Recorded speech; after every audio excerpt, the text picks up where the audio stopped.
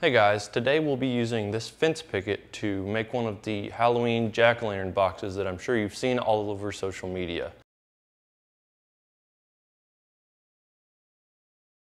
So let's just get down to it.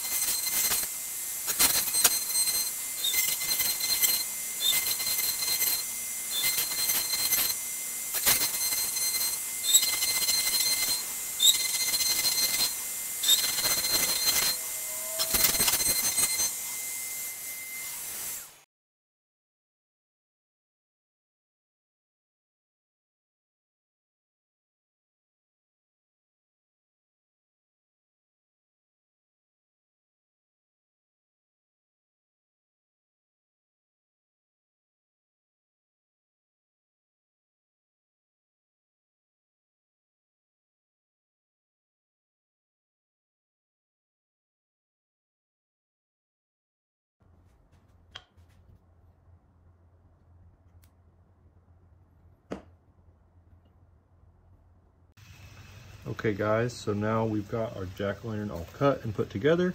It's nighttime, so we're gonna go ahead and we're gonna light it. I've got two candles in here just so it shows up a little bit better.